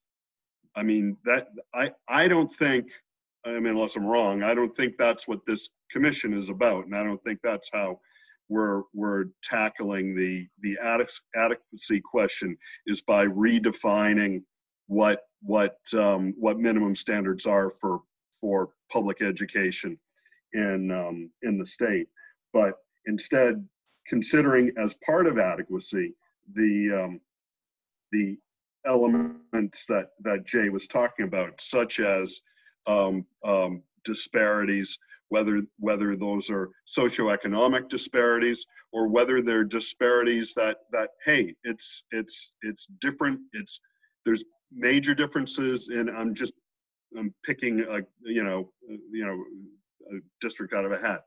Um, uh, different challenges in um, in the kearsarge regional district than there are in the concord school district for instance and and and how how those uh, may get factored in is that sort of along the line of thinking, Jay?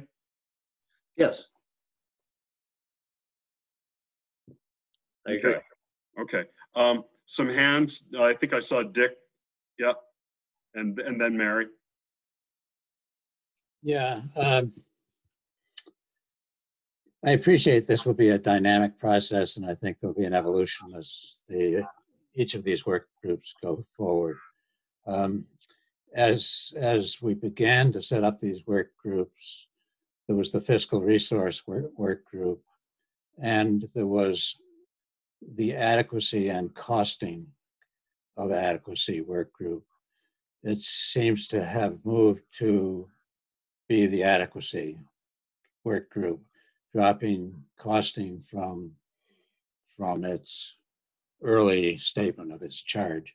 I think that's a mistake. I think costing should be uh, in the initial mission and charge of this. When we think about the fiscal resource group and its work, we need, we're not going to be figuring the costs that we're trying to fund. Those are going to come to us. We're going to be, because we have to, I think, working off of a set of different scenarios, different levels of cost.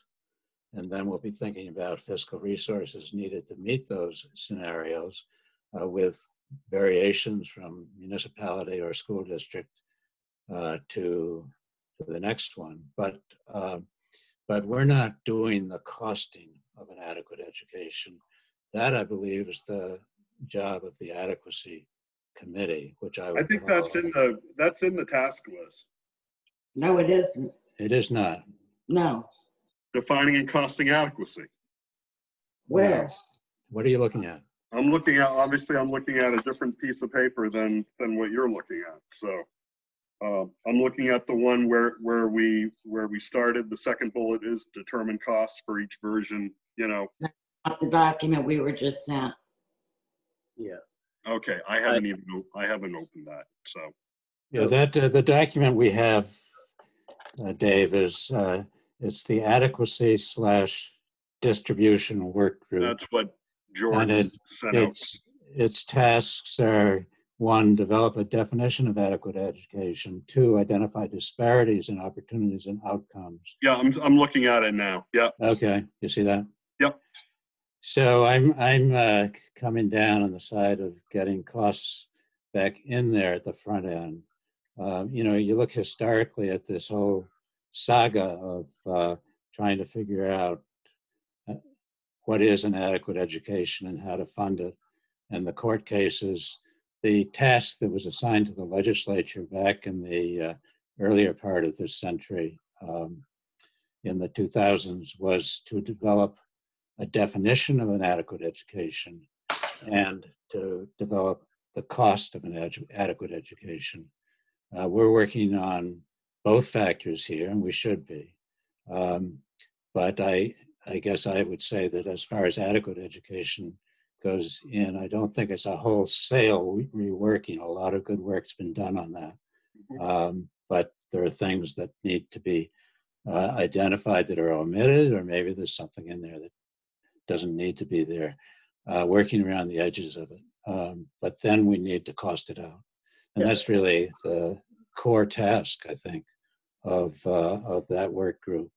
Costing out an adequate education, whether it's teacher ratios that go into what I would call the base Okay. cost, or in many uh, school finance studies, it's called the foundation uh, cost at the beginning before you add on variations for um, whether it's uh, the rural nature of a district or the level of education. We were talking earlier today about uh, maybe elementary is different than middle than high in terms of uh, of the inputs, the, the resources that need to go into that base calculation, and then having uh, variations for the uh, the demographics, the makeup of the student body, um, whether it's a, a school body that's predominantly uh, coming from uh, relatively uh, uh, less uh, resourced community uh, families and communities, or or not, and uh, and whether special education is a major component in the population or less so or more so. So having variations, you know, what we call them, uh, I can't come up with the exact word, but we, we add a, uh, a weight. Weights, yeah. We can call it a weight um, for these other factors. Um, so we need to cost all of that out. And I don't see anywhere else it's going to be done. if It's not done by the adequacy work group. Right, right. So Jay, was that, yeah, There's no disagreement that we've got to do a cost. You know, so we will. And, and we can, we can make it more explicit so that, uh, that, that's, uh, not a, not in question. Uh, I, I will reiterate, uh, that, uh, cost is a function of what you want that to be. I can tell you that, I mean, I can, again, I, 43 years in financing education. Uh, I, you, you, you tell me an outcome and I'll give you a cost. So- or you give me a cost and I'll give you an outcome. Um, the, the, we need to be clear about our goals. And if we're not clear about our goals, the costs won't matter a whole lot. Uh, because it can be, you can drive it to any number.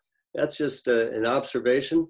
I want to get to cost too, because that's uh, without without having a, a target, we can you know the range on this is going to be way too wide.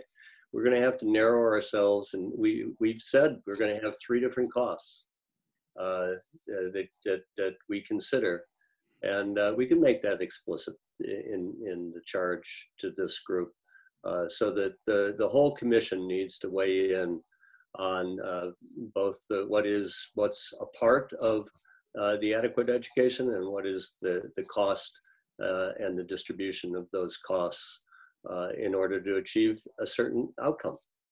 So, so Jay, Jay, obviously the, the, the work from our uh, research um, contractor is, is going to have a lot to do with, with, with um, your work group's um, process going forward. Is that correct?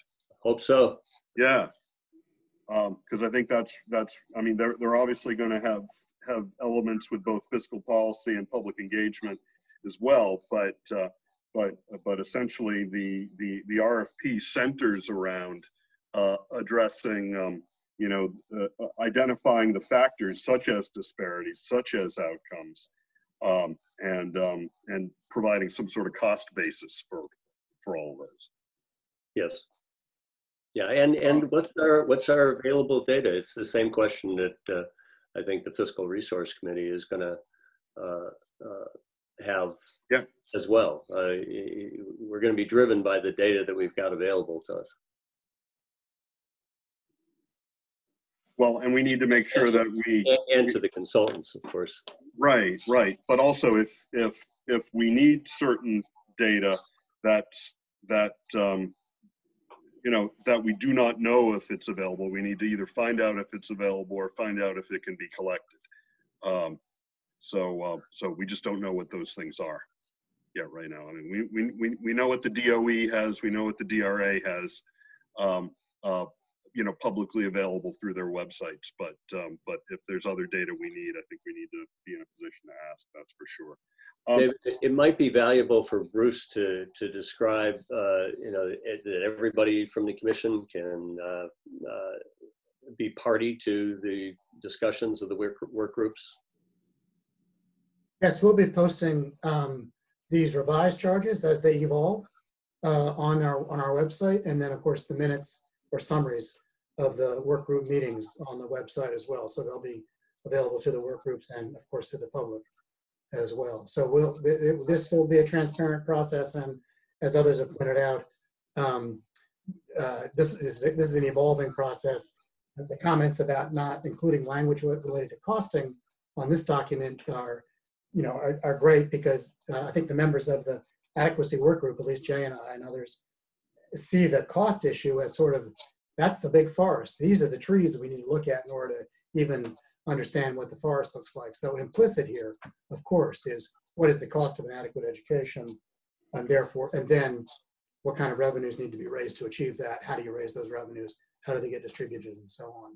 And, and I guess um, while I have the floor, I'll, I'll, I'll suggest that we might want to continue to move forward with the other work groups as well today to make sure they each have a chance for a little conversation as well. Absolutely, yeah, because we've got about a half hour left here. Um, so, so I think what I'm hearing is, is while the, while the cost element, uh, of it was, was implicit, we probably should be putting that in black and white in the, um, uh, in the charge, just so that, Yeah. just so that all the, all the members can, and, and the public knows, knows exactly what, uh, you know, what we're moving, um, towards. The, um, um, uh, the, the point that, um, that, that, uh, Bruce is making also, uh, all of the members are welcome to join, to, uh, to attend any of the, uh, work group meetings. We're not limited by quorum or, or, um, or anything like that. All the work group meetings, while the, while the work group membership has less than a quorum of, of commission members, uh, on it, they're all posted as, as, as, you know, meetings and they're open to the public.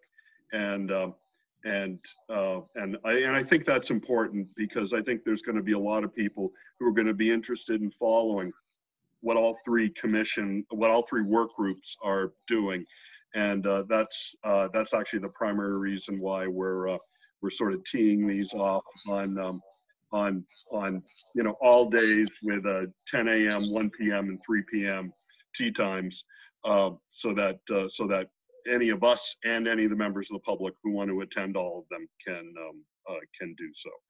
Um, Dave, one other comment, uh, just as a reminder that at subsequent f- meetings of the full commission, a significant part of each of those meetings will be to hear from the respective work groups to be sure that we're knitting those together. So that's the coordination and alignment of these three work groups will be a, a major purpose of the full commission meetings, in addition to other deliberations or other expert presentations that we have going forward. And we'll talk about our schedule towards the end of today's meeting. right, right. So um, so we'll let's um, let's without objection let's um, let's shift over to the fiscal policy and then we'll wrap up with uh, with public engagement um, uh, quickly. And and of course we can take feedback as we're going along on on on this too. But um, but today would be great because it'll help to inform our first um, uh, work group meeting. So uh, just looking at fiscal policy uh, uh, you know at at at at one level you know sort of based on what we just heard with adequacy uh, fiscal policy is basically going to be responsive to um, to the needs of um, of what the um, what the adequacy work group um, uh, uh, uh, puts for, puts forward. But at the same time, um, fiscal policy is going to require a lot of um, uh, attention to it, a lot of data gathering, uh, a lot of modeling, and uh, and along with the adequacy work, a lot of communication with um, with and engagement with the public. Um, uh, because fiscal policy, yeah, that's tax policy, and um, and where's it all coming from? Um, uh, I, I, I like to say we're already paying for it in New Hampshire because we're paying for it with local property tax dollars. So the question is, is that the way? Is that the way we're going to do it forever, or are we going to be looking at some uh, some different ways of uh, of doing it? And um, uh, and uh, uh, and and you know a big point in in uh, in I think the fiscal policy question is going to be um, um, you know the fairness or as what the courts have put out the um, the proportional and reasonable. I think that's what um, what um, um, uh, Attorney Will uh, talked about when uh, when the Attorney General's office was was uh, speaking to the commission about the the court case, um, court court decisions. I mean, and uh, a- another term that that that I've seen actually in in uh, in in one of the proposals that we're uh, we're reviewing is this concept of uh, fiscal neutrality, and um, and and that's probably something that um, that the um, that the fiscal policy work group will uh, will also um, uh, look at. And what that's basically saying is your um, your your I guess your access to um, to a um, to an adequate education is um, is not dependent upon uh, upon which district you um, uh, you live in, and um, and uh, and it it it provides a basis of of of you know sort of you know what you know how how adequate education is uh, is arrived at um, uh, uh, equally throughout the or equitably throughout the, the state. So um, so anyway, on um, on uh, uh, this work group, I'm chairing it. John Beardmore, former commissioner, DRA, Mary Heath, Chris, Chris Dwyer, Dick Ames uh, from Ways and Means, and, and Rick Ladd. And um, uh, and uh, one of the things that uh, that I think we want to um, to begin with is is really identifying what sort of um, uh, data uh, is out there, what data we need in order to begin modeling um, what um, uh, you know what what sort of approaches might might come forward and or what what sorry begin to model uh, what approaches we might take given um, given various funding levels that uh, that come up from the uh, the adequacy committee the adequacy work group. Um, that all said, um, you know I think there's there's probably a practical um, you know consideration we need to look at as well. And um, and while I'm while I'm not saying that that fiscal policy should should um, have a strong influence on what the adequacy work group does, I think um, uh, that's why we're all having to sort of work in parallel with each other so that so that each work group's efforts can help inform um, the other work groups.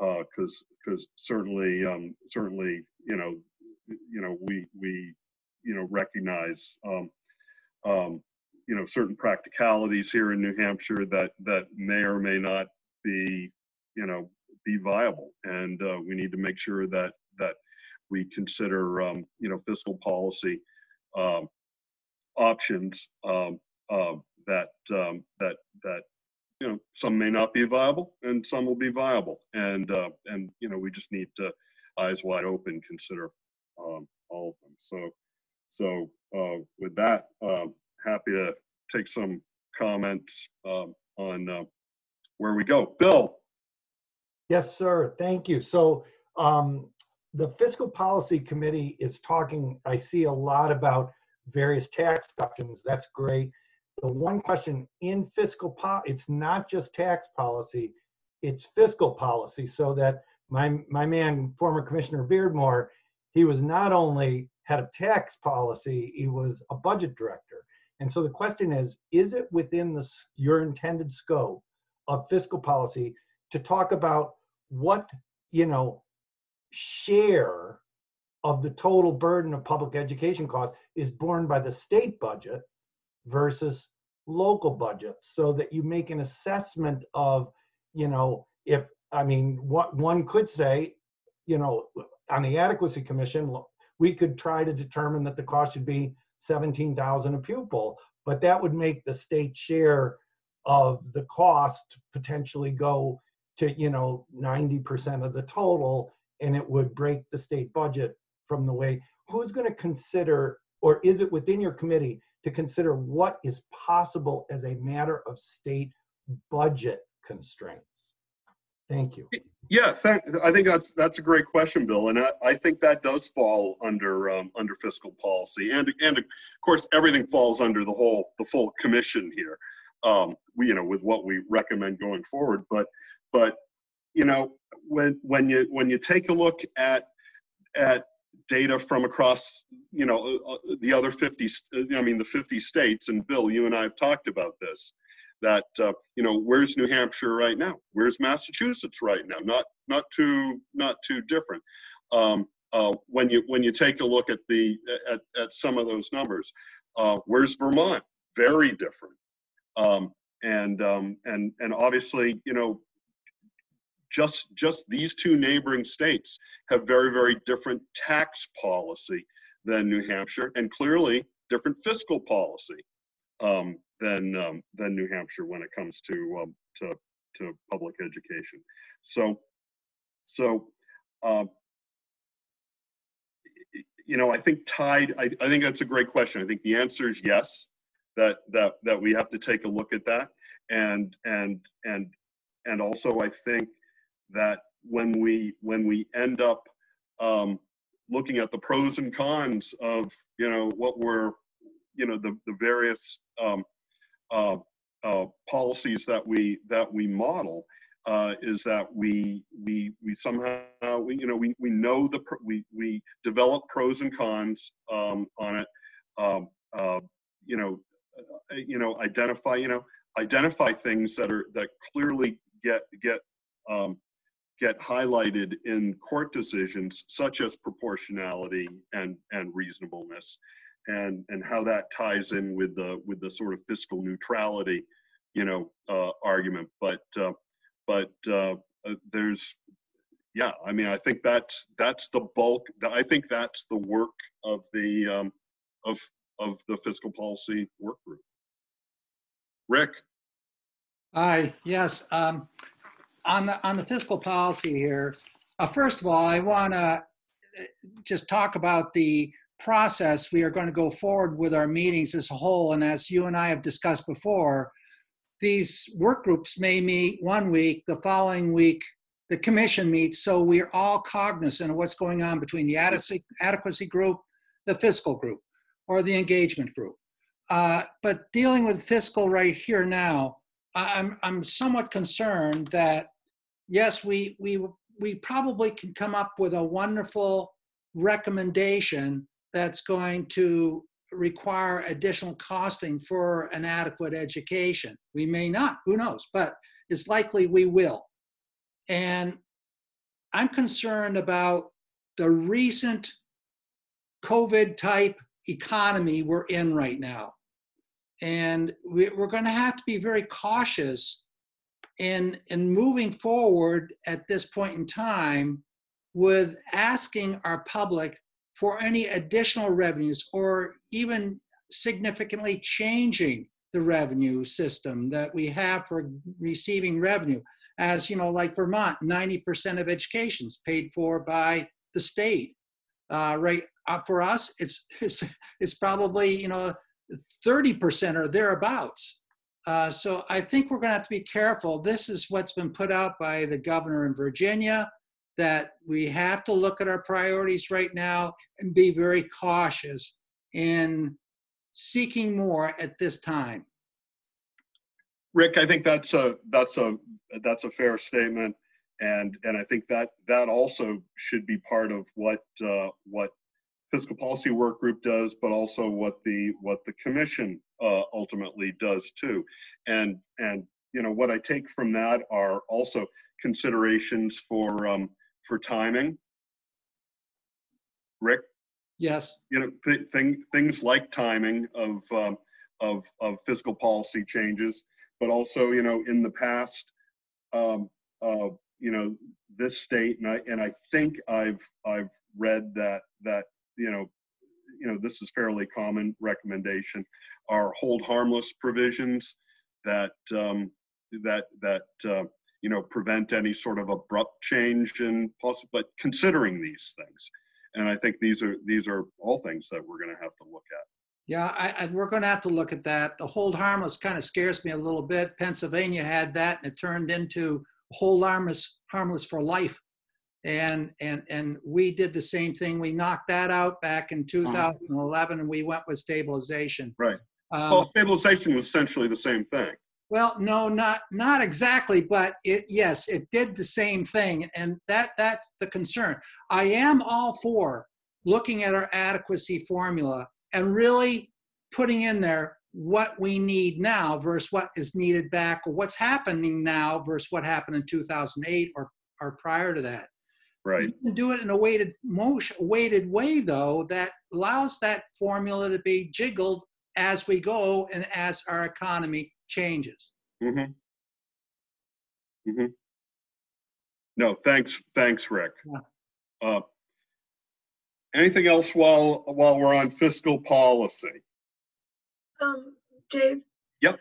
I assume, and this is subsumed in the conversation we just had, that this committee would also recommend what might be categorical funding versus what might end up being formula funding, uh, and various ways of looking at that.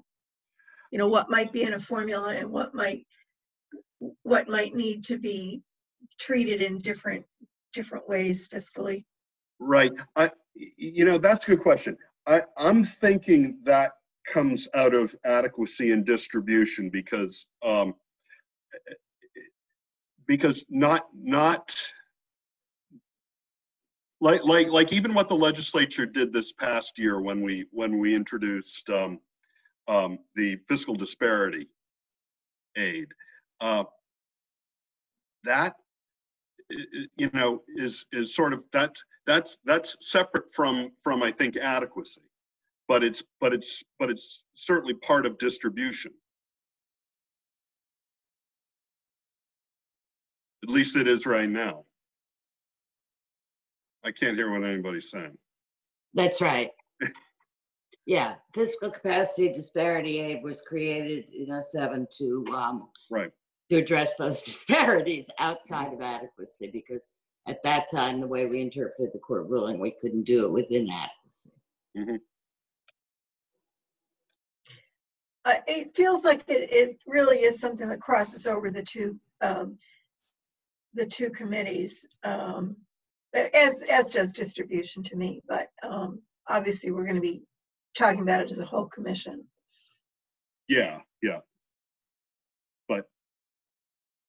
I'm gonna know, I'm gonna mark it down um, as some of the things that I want to make sure we put on our task list so that, so that we, we keep them, we, we keep an eye on those things and know to work with, uh, with um, the adequacy, um, you know, group, uh, um, you know, on some of these issues. So, Hey, Um, hey, Dave? yeah. It's Bill? Bill. Yep. Just to follow on Chris's point, because I think it's important. Chris, I've been thinking of the, the, the, um, the adequacy and distribution work group is the one that figures out, okay, let's try and evaluate, um, among other things, the differences in qualities and needs of communities, and then methods of getting state aid to those communities. So when you talk about categorical grants, foundation grants, things like that, I'm hearing it as kind of initially within that that adequacy distribution of aid group whereas fiscal policy seems more tax policy and budget and i've heard you chatting chris a couple of times and i want you to make sure that you double check with your expertise and interest that um, that adequacy distribution doesn't deserve your great attention too. Because I, I think that's kind of where it is. But as I understand it now, thank you. Sorry. Nope, thanks, thanks, Bill. Um, let's see, we gotta save some time for, uh, for public engagement. Um, Mel and Bruce, where are you? I- I'll just say that, um, I'll say as we move there, um, let me be- be sure to folks note that uh, Michelle Holt Shannon has joined us. Michelle is Director of Engagement Listens and the Carsey staff. And Michelle's going to be working closely with Mel on engagement while Carrie finishes up her dissertation over the next five weeks or so. Um, so I just wanted to make sure that folks know that Michelle is, is a staff uh, me- member here along with Jordan and Carrie and me, and we'll be working closely with, with Mel on engagement. I'll stop there and turn it over to Mel and, and Michelle and Carrie. Okay, so, so the issue of uh, public engagement, obviously, with the, in this shelter-in-place environment, uh, is going to be challenging. Uh, but I think the overall goal is is this for for me anyway. As we come up with recommendations, it's very important that in order to have an intelligent conversation, people need to understand what this issue is all about. And so our our task, our goal, or at least my goal at this point in time, is to provide a number of of um, interventions within the community so that that informed conversation can can in fact take place. One of the goals we have is to try to identify some of the issues that are out there that the other two work groups need to deal with. But in order to do that, they also have to have some sense of understanding of how this how this works. Uh, so we have to be able to clarify those are the issue, those areas with which the other two work groups are working in to get feedback from the communities at large. And also for me is also to try to create a, um, a, a group of informed citizens that when we come up with a final recommendation, they'll be able to understand what that recommendation is. Now, they may agree or disagree with it. That's going to be the challenge. But the issue is, is that there will be, in fact, an informed conversation moving forward. Uh, obviously, this is a complex. Uh, this is a complex issue, and one of the concerns that we have, and we have been dealing with uh, with the vendors that have uh, responded, is that what happens after the study is all done, the recommendations are all made. What happens in the next step? This is what I call the so what moment. That you do all this work in the background, you create this recommendation, so what? That means what's going to happen to it as it relates to dealing with developing public policy. So as you look at the information that was sent out to you, you'll see that there are various areas that we are in fact dealing with. Uh, we've already had um, activity that has been going on. Uh, we've had the stakeholder group meeting, met in March before all the pandemic stuff started. We had a very successful meeting there, getting from them some of the issues that they want to deal with. We also have been, uh, we, also surveyed our own committee to begin to identify some of the issues that they're, they want to deal with, and that would be part of the conversation that we're going to have on the 7th. You note in there that there's there will be a survey. We've already contacted the survey center at uh, UNH. They are prepared to have eight to 10 questions on their survey that's going to go out about school funding so that we can gather information from, from a random sampling of uh, citizens in the state. We've been in touch with uh, Reaching Higher and others dealing with trying to get the student voice in here. Now, some may say, why do we need a student voice? Student voice is important here. Students bring to schools a much deeper, a much deeper and richer understanding of their needs of learning. And oftentimes they are put to the side, allowing adults to be the only voice in the room. And our sense is that that student voice is in fact uh, very important. The community-wide conversations are going to be very important. And this goes back to the what I said at the outset. This is what's going to be the challenge of how do we provide engagements with people uh, obviously via Zoom, etc. But to try to have uh, people from around the state be able to engage in these conversations to provide feedback and feedback on their issues as well as some of the research that we begin to find and get feedback on what, what our folks are saying. So those are some of the things that we'll be dealing with. Um, I'm very excited about it. Um, and um, I'm open for, for questions as well as the other committee members if they'd like to make some comments too. Questions, thoughts for Mel? Yes, Kareem. Just want to reiterate the student voice piece. I mean, we're hearing all of that within the civics instruction and how to engage more students in the process. And we have an opportunity here that's, you know, prevalent all over the state that could engage students in some way. So I just want to reiterate that that, that really is a, a, a big piece for me. Great, thanks, Kareem. Um, uh, Michelle, Bruce, or, or Carrie, anything to add on this? Yeah, I'd like to, I also like to thank Carrie for the work she's done. I know she's about to cloister herself as she enters the uh, last pathway here to her PhD, but she's been very helpful in uh, pulling this material together. And uh, thank you, Carrie, and I wish you well in the next uh, six weeks in your endeavor. I'll, I'll just make a comment. I know Rick has his hand up. I'll just make a quick comment. Um, you'll notice that uh, you, you may be thinking that our report from the external consultant right now, that report's due August 31st. In the early fall, in September, we'll be doing these community-wide sort of all-call conversations around the state, which will give us more input. And in our conversations with potential uh, contractors, the consultants, um, they understand that they may, uh, that they'll be receiving additional input after August 31 that may cause them to refine, modify, ex expand, and so on the recommendations they had made to us as of August. So there's always this sort of sequencing and timing challenges that we have within the constrained amount of time. And, and I also say the conversations we've had with them, we have asked them uh, specifically on how to package some of the information that they have so that it is um, very clear and uh, understandable to uh, the body politic out there. Um, Rick. Uh, two documents I provided. This is a short one, and there will be a longer one that's provided as a working document and a point of conversation for the um, work group meeting on Thursday that um, Michelle will be um, joining with Mel and, and the work group members and, and whoever else may want to join. So there's there these are talking pieces that'll help kind of build a strategy about how to integrate some of the information from the other work groups into the questions we need to ask and being very considerate about who we're inviting um, to which which event. Um, and that includes um, some serious thought about how student voice is involved throughout all of that.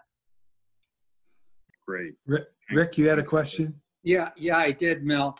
Uh, Mel, when you're looking for your student voice, um, I would suggest that we expand the word student to mean also all those graduates from our high school that maybe off in the world of work for the first year or two or third, uh, so we can get their reflection on how well our system prepared them for their career, their job, uh, their life that they're experiencing. Also, for our college students that just recently, you know, have are, are on the way from high school, let's say, into their sophomore year. Those are the students which we need to really pick up on, find out, you know, what they feel and about their education they received K through 12. My second question for you, Mel, right now would be how do we get the information back from our public? Uh, we had a lot of engagements throughout the state here uh, done in the last year regarding you know our, our disparities our inequities from my town to other communities. And the common thread that i heard here in haverhill was yes we need to be funded more. We need more. We need more. And that is correct. We are a hurting community. However the question was never posed to them, how do you feel we should acquire this additional revenue? Uh, I think that's a very important part of this equation as fiscal will be looking at. Um, how do we go about in this state of receiving the revenue necessary to support an adequate education? Thanks. Thank you. Yes, that's a, that's a, that's a, a, a really big point, uh, Rick, uh, because, you know, if we, if we, if we sort of generally say that, hey, you know, it's being paid for already, it's just being paid for this certain way. And, um, with the exception, and I'll, and I'll put an exception that there are certainly districts that are not able to, to pay for things that a lot of districts, uh, are doing and and what the adequacy work group may consider to be part of a, uh, an adequate education. And um, uh, uh, so you know so i, I but ab- absolutely i mean that that um, public engagement piece is going to be very important when it comes to um, to asking those questions rick Yeah, Well, I think one, one of the things, go ahead, Greg. Just to follow up to that though, Dave, um, within my particular community, they would say, yes, we really do need to beef up our education. But if we decided we were going to come back, I'll just take something, a business tax, increase that, or some other that's going to hit the small business. You're going to hear people saying, no, I can't go there. So there's, it, it's, we're going to have to get this information in a way that it's going to be help us making a, a decision at the end, which is going to have a good chance of- of going forward. Mm-hmm. And one, one of the things I think, Rick, uh, that that you've heard me talk about this before in committee, is that you know there's there's a lot of conversation statewide about workforce development, but there's little conversation about what that means to rural to rural New Hampshire or to those poorer communities.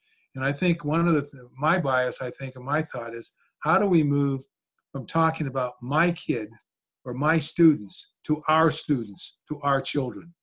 and to look at how if we're going to really have a, a workforce to look, to look at a workforce through the education system we need to look at how a, a, a child a student up in berlin has the same opportunities as a student in uh, concord and that i think that's one of the challenges that we have particularly in the adequacy area of, of as we try to define what adequacy is and then how do you fund what we define and then you go to the community and say, okay, if this is what you want, this is what it's going to take.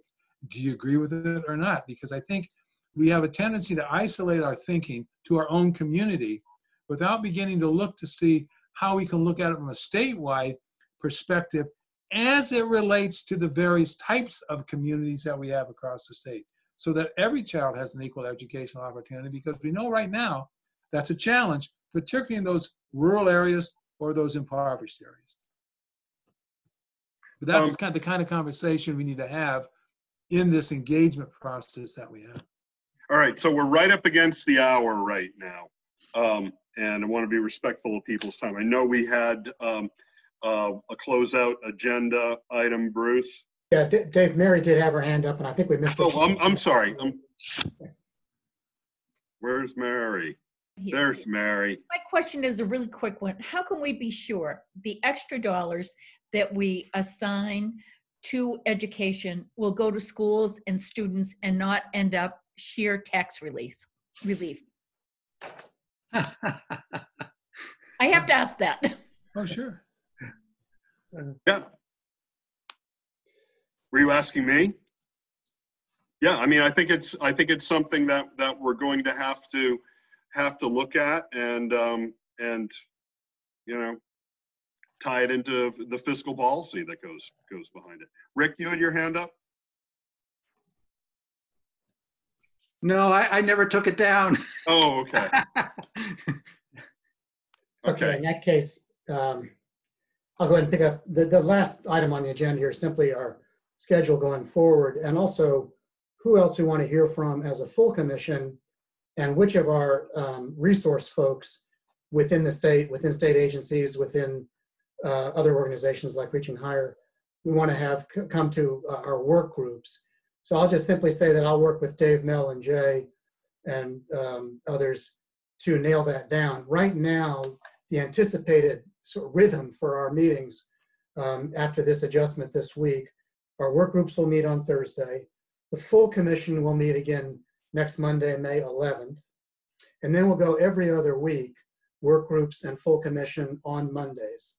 So Mondays, starting on May 18th, will be a full day of work group meetings, again, scattered across the course of the day so that anybody can participate in any one of those meetings from 10 to noon, noon um, uh, 1 to 3, and 3 to 5. Um, we'll get all this out. I wanted to confirm this with uh, Dave and the exec team before I sent it out to you. But really, right now through June, we're looking at that pattern. So you might mark your calendars for full commission meetings every other week, um, beginning May uh, 11th. I'll come back to that in a second. And then work group meetings every other Monday, um, beginning May 18th. Now, of course, we run into Memorial Day on May 25th, and I'll be working with Dave and the exec team to see if we can just, just nudge that Monday, May 25th to Tuesday, May 26th. So we don't, again, lose our, lose our pattern, lose our rhythm, lose our momentum here. But essentially that's, that's, that's the anticipated process now through June. Um, we'll hope that things might open up. We might even be able to be uh, face-to-face by some point, you know, later on in June or into the summer in any case. So that's, that's what we'll say. It looks like Jay has a question. Comment. Uh, Yeah, uh, two Mhm. things. Uh, One is, uh, you know, I think that when we were talking about student engagement, um, there are opportunity questions that students, I think, could answer for us. And I don't think we want to wait until September to get those. So I, I guess, Mel, something to, to tee up for us in a conversation is, you know, how do we, how do we get some take advantage of you know a classroom or two uh, in in Litchfield and uh, uh, Exeter, Brentwood. Uh, you know, to to uh, anyway, that that's just a you know, out there.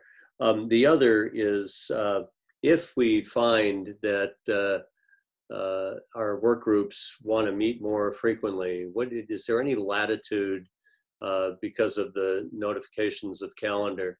uh, any latitude of squeezing in another meeting in between a couple of those that uh, dates that you just gave.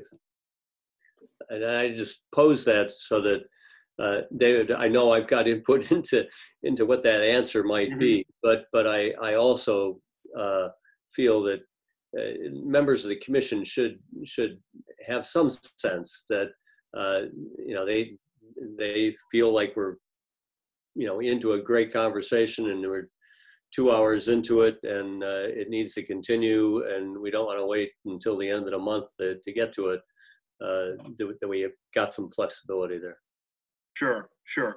So um, not to prolong this meeting, but, but uh, anybody has feedback, things they like, things they didn't like, things they'd like to see done differently, please email them to, uh, to, you know, thoughts to me and Bruce, um, uh, Jay and Mel as well. Um, uh, we, you, Bruce alluded to this earlier, uh, alluded to an executive team. That's sort of how we've been able to continuing to, to be able to make some progress uh, without having, you know, uh, Bruce and I sort of just try to figure out everything ourselves. So, um, You don't so want that. what's that? You don't want that. You don't No, no, and, and, and we certainly want to be respectful to, to the full commission, the, the right to, right to know and be able to access, uh, commission meetings. But, um, but we need to be able to, you know, um, move things along in between these meetings. What can we accomplish and, and, uh, and, uh, uh, what we need to have meetings to be able to do. So, um, but if you've, if you've got some thoughts on these, let us know. We have talked for a while about going to an every other week, um, uh, commission, uh, schedule. So I think we're coming to that, uh, time right now with the intervening week being the, the work group week. Um, yes, Iris. Just since we weren't able to get live public comment, if you get any public comment by email, could you let us all know? Yes, yeah. In fact, um, I think the idea is Jor- Jordan's going to collect it all and then, and then send it to us. Yep, that's exactly right. Yeah. Any other, um, any Yeah, other Yeah, thought? Da- Rick? Dave, Dave, can you, uh, like you've done in the past, can you send us a, a document with the calendar of, of dates coming up? I know I've got emails here from you saying on May 4th, we're doing this, 7th, 11th, 18th. Mhm. That's really helpful to myself. Yep. All right, great, great. I think Bruce just put one of those together. So we, Bruce, if you can send that out, that'd be great. Yeah, I just wanted to get your okay on that before. I Yep, start. yep, fantastic.